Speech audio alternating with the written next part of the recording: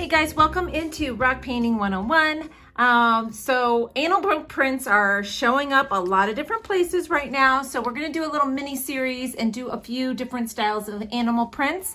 So stay tuned to the end. If we have any other ones, I'll make sure to link them at the end of the video and create a playlist for them. So today's animal print that we're working on are tiger stripes. Now I'm going to do a traditional color tiger stripe and a fun color pop style tiger stripe. I'll be working kind of back and forth just to allow a little bit of dry time on either side and we will make these really fun. We've got some fun sayings to put on the back side of the rock as well. So the first thing we're gonna do, I'm gonna start um, on my standard colored tiger. So I'm gonna just go ahead with a bright orange right down the middle I'm gonna fill in that middle space really well, top to bottom, or all the way to the edges of your rocks. Just decide which way your orange stripe is gonna go, like so. They're nice and thick, so you've got plenty of paint to work with because we're gonna do a little bit of blending out to the outer edge here. You could definitely do this with acrylic paints as well. Uh, just lay down your first colors first and then you can blend with a separate brush um, if you would like to do with acrylics. So we'll put down our two colors first. I always like to get the white all the way to the edge. And then we're gonna work our way right here in the center line here. Just kind of blend that orange out into the white a little ways. And yes, I know I'm using my, right on the tip of my uh, white paint pen. It's okay, I promise. Just like that. Go back into that orange. I want a little bit more orange in the center there. Okay, and I'm to do the tip off my pen here, just till it gets back to white. You can see on the black paper. And then we'll do this other side. Oh, I still had a little bit of orange on there. And now this side has had a little bit more time to dry, so I might have to come back with my orange. Depends on if it loosens up. If your um, rock absorbs a lot of your paint, you might have to come back with a little bit more orange if you get too much orange going on your brush, go ahead and wipe it off, pulse it, come back in, lighten it up. There we go. Basically, just want that orange to kind of fade off to the sides. And I kind of want this to go a little bit more off the edge here. There we go.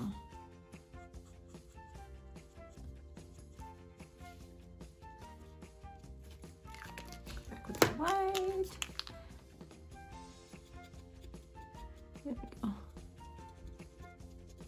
I should have had that going over first place a little bit better, but.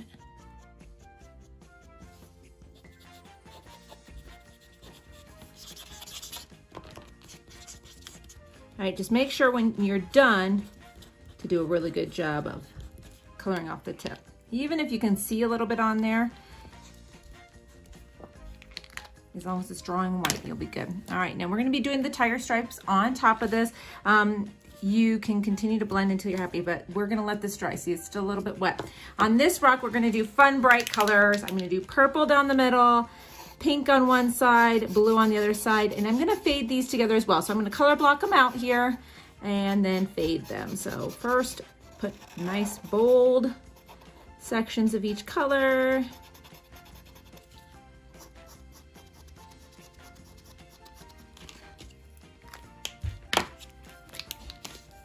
And then we'll blend them together. So I'm gonna do the blue. We're gonna fill in the blue first.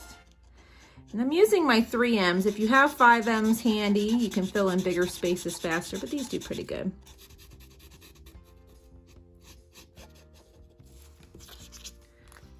All right, now we're gonna let this one dry we work on our tiger stripes over here. Now I'm gonna use my 1M Posca pen. Um, if you've got uh, liner brushes, you can use your liner brushes and black acrylic paint as well. Now the main thing when you're doing your tiger stripes is you want to make sure that you have a little bit of a variety. They kind of get thicker and thinner. Sometimes they make little V's and Y's. I like to go in and add a couple stripes that aren't gonna go to the edges first and kind of build around those. So I do them thin and then thicken them up as well. So I'm just gonna go through and place down a few that are gonna go in the center, but not go all the way off the edge. Not very many. Okay, and then I'm gonna thicken them up just a little bit, just kind of bounce along them, make them thicker, and then they kind of usually come to little points at the end. They get thinned out. So you can kind of come to the center and thicken them up a little bit, like that.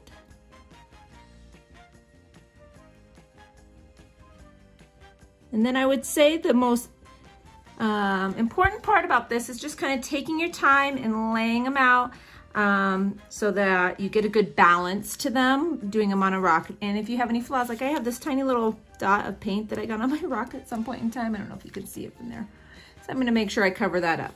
So you can start by adding some stripes that come all the way from one side and come to the center, not all the way across. Maybe you have one that comes all the way across. Okay, and then maybe one that comes from this side, but not all the way. And just lay out a few lines. I'll have this one come here, but not go all the way. All right, and then we're gonna thicken those ones up. Now, every once in a while, you're gonna get little V shapes and Y shapes, so you can add a couple of those where they come from. And after we have these thickened up, then you can decide if you want to add more to your design. You can always add more. So I like to add in a few, fill them in, then go back and add a few more and fill them in. So I'll speed this up while I'm making these thicker, but let you watch.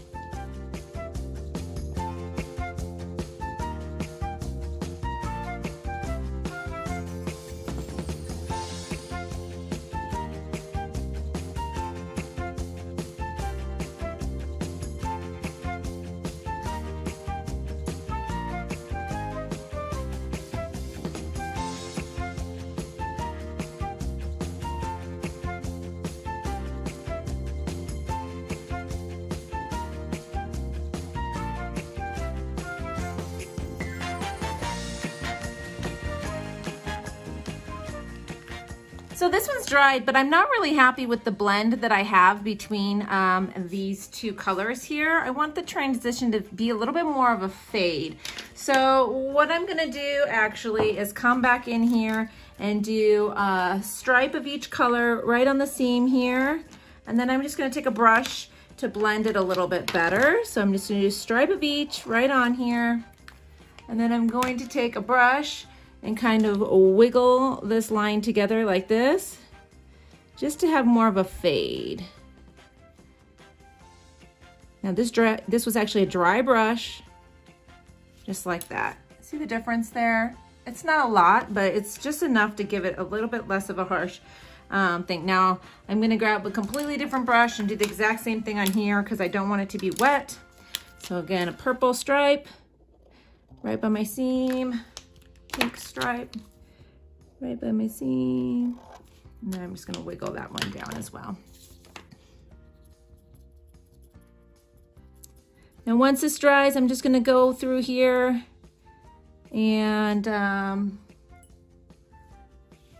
uh,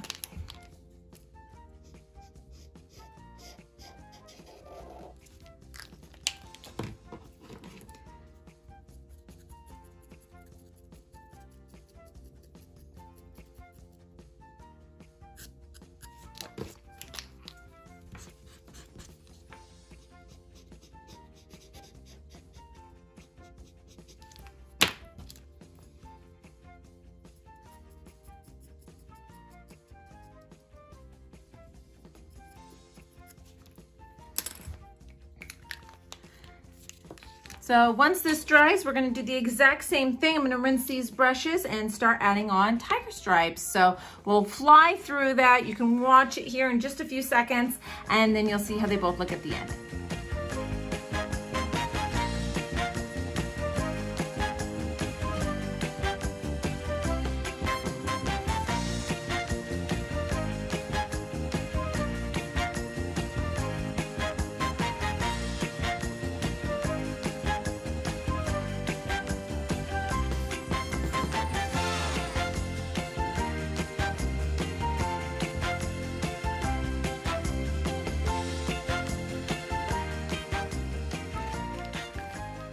So wild at heart, wild and free, just something really fun. Obviously, I'm adding my hashtag on these for when I hide them around town.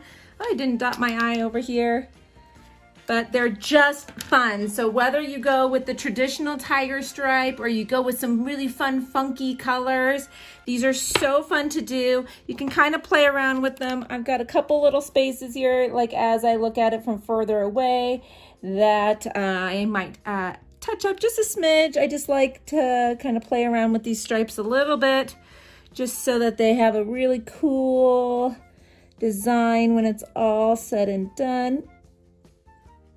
And they're just really fun to do because there's not any specific pattern that you really have to follow.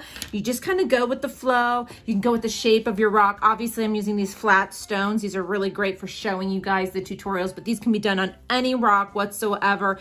Um, you don't even have to have a white base coat on them if you're doing the colorful one like this um, or this one because you're blending into the white as well. So I hope you enjoyed this tutorial. Uh, make sure that you're subscribed. We've got a few more patterns that we're gonna do and we're gonna give a kind of fun twist to each of them as well with the bright bold colors. So we'll see you soon with another rock painting tutorial and we'll leave links to them right when this video is over. Bye-bye.